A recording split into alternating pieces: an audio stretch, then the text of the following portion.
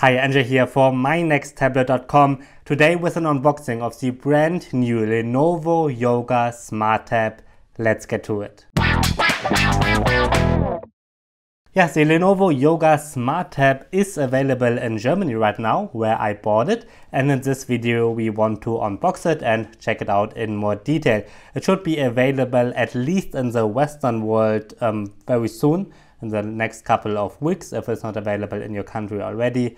And I'm not sure if it will be available worldwide because it seems like Lenovo is not releasing the smart tabs, uh, tablets with the Google Assistant built in in every country. So yeah, you will just have to see if you are able to buy it.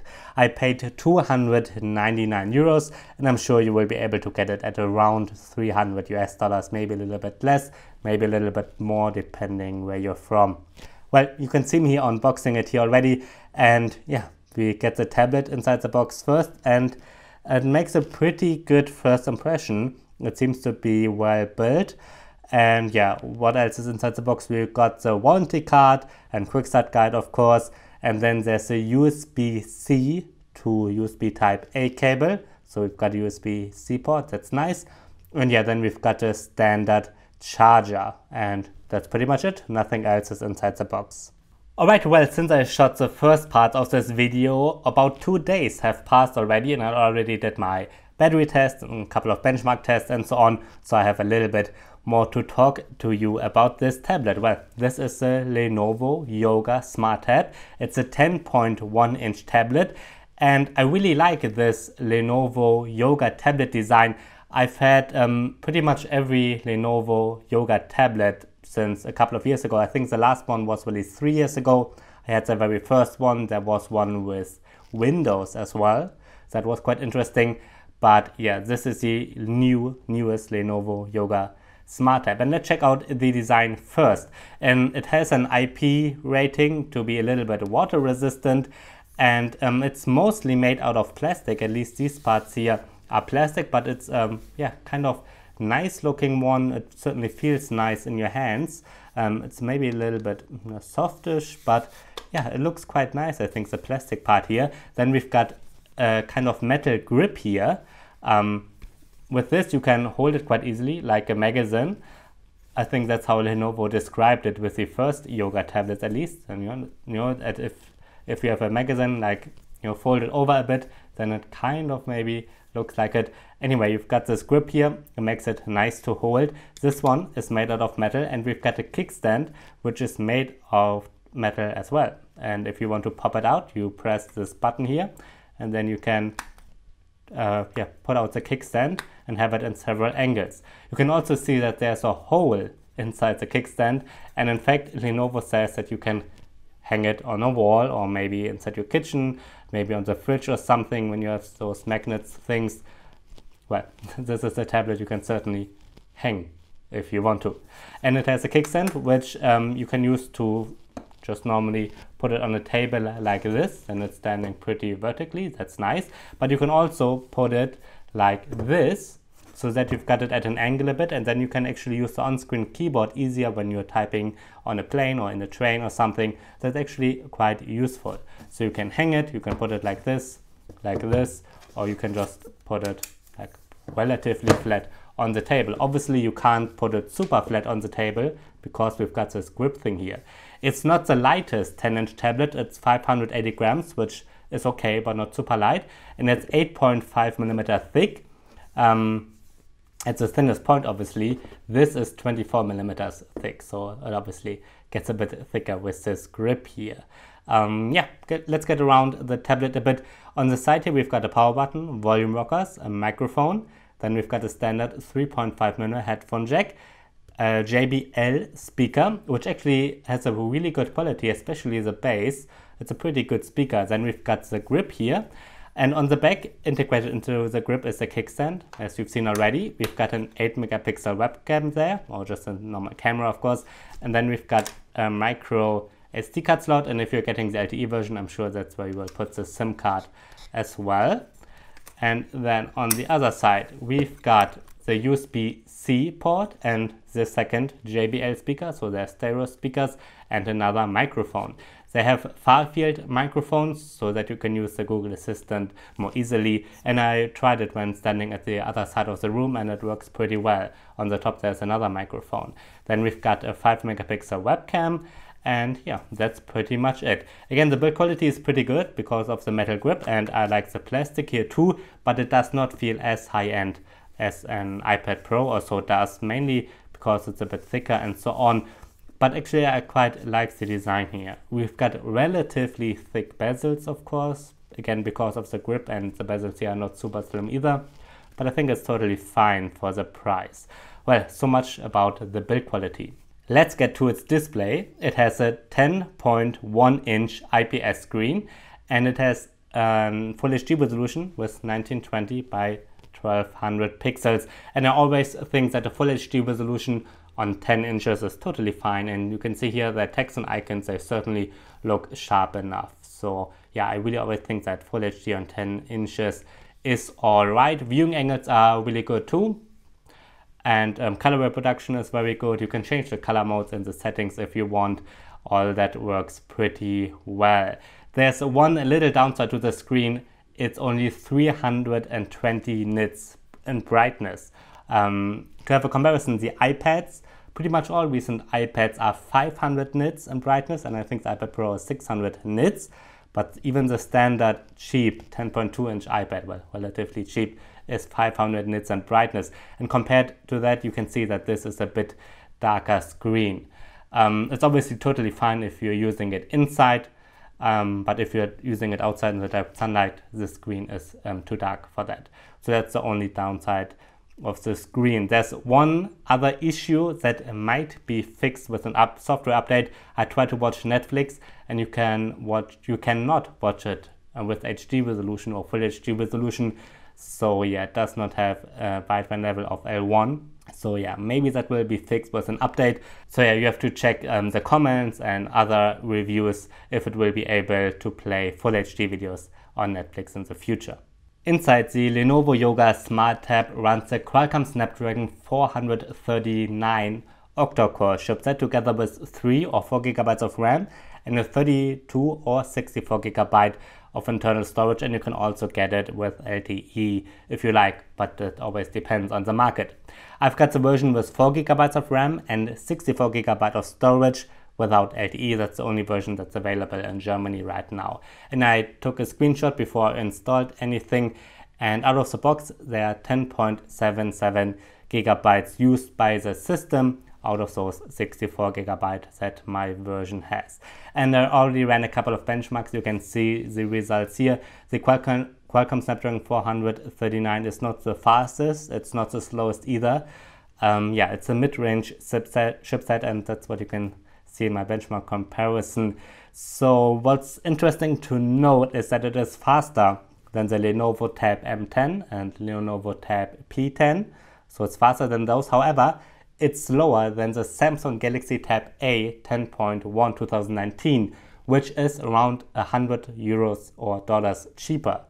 So if you're into gaming, then this is not the tablet for you, at least not if you want as much performance for your money as possible, then the Samsung one um, yeah, should be the better option. So yeah, this is not one of the highlights of this tablet. On the other hand, we get 4 gigabytes of RAM with the version I have, for example, for 300 euros, which obviously means that you will be able to do a little bit more multitasking. The Samsung one that you see in the benchmarks here, the Galaxy Tab A 10.1 only has 2 gigabytes of RAM and usually you can see a difference um, of 2 gigabytes in real life when you switch between apps fast. Um, yeah, you can also see me here playing PUBG Mobile right now. It does run and it does run um, pretty smooth. There are some minor stutters. However, the graphics, they don't look amazing. I mean, as the benchmarks obviously would suggest, you cannot set the graphics to HD. You can only set them to balanced. And yeah, the graphics look pretty bad right now. I don't know if it ever will be a little bit better optimized maybe. But yeah, this is um, not a perfect gaming tablet as the benchmark suggested as well, especially when you're looking at the performance to a price um, yeah, issue. Um, yeah, it's not the best regarding this.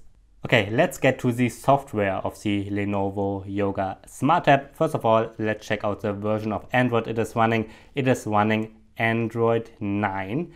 Let's go to, no, this is a system update there, about tablet. Yeah, that's Android version 9.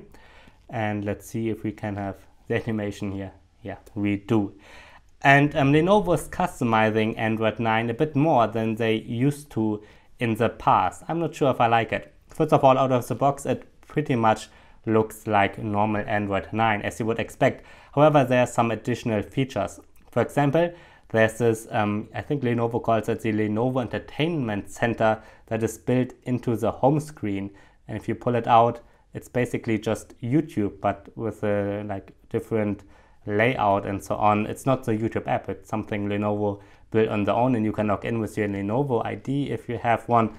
Yeah, I don't like that it is integrated into the home screen out of the box. There's a kids mode, which might be nice for kids. There's also um, yeah, a little customization bar for the screen. For example, with this one, you can change the color mode to bright and um, yeah, you change the saturation basically. Now it's back to standard. You can take a screenshot with it. You can activate a reading mode, which is a blue light filter. You can record the screen and you can um, swipe this pen icon here to basically annotate the screen. You know, basically it takes a screenshot of the what you're seeing right now, then you can um, yeah write on it either with your finger or with the pen for capacitive screens or so on. So yeah, it I'm not sure how I feel about it. I really like vanilla Android and yeah, some of the customizations here they could be useful for some, but I don't think this Lenovo Entertainment Center thing here is really useful. You can replace those um, buttons here with gestures um, there are not too many apps pre-installed, which is good. I obviously installed the benchmarks and the games. There's a Dolby Atmos app pre-installed, and also Google apps are pre-installed. Yeah, that's pretty much it.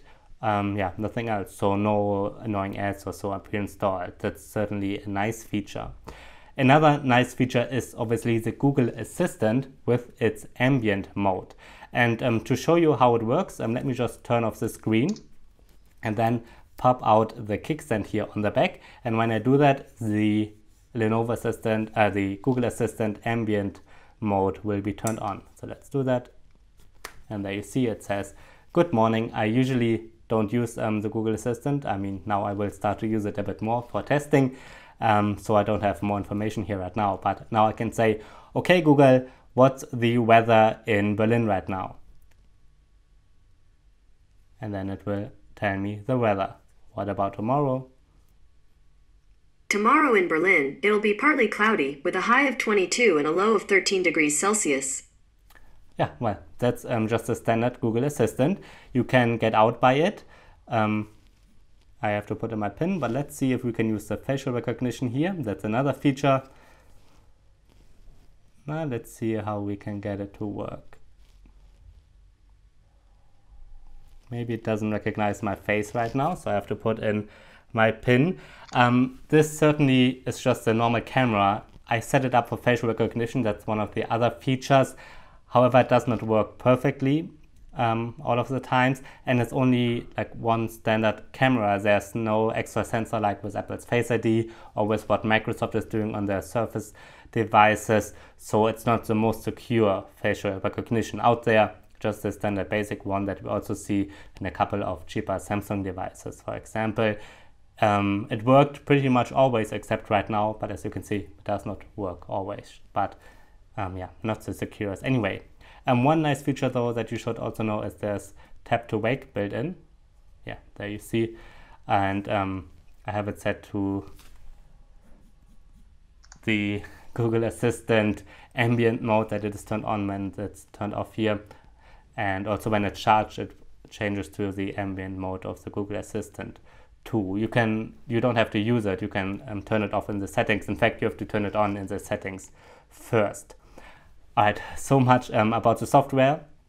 And um, yeah, ch let's check out the battery life. You can see it here right now. We've got a 7000 milliamp battery in here and in my standard battery test I got a runtime of 16 hours, which is a really um, good result. For this, I'm always looping an HD video at a medium brightness.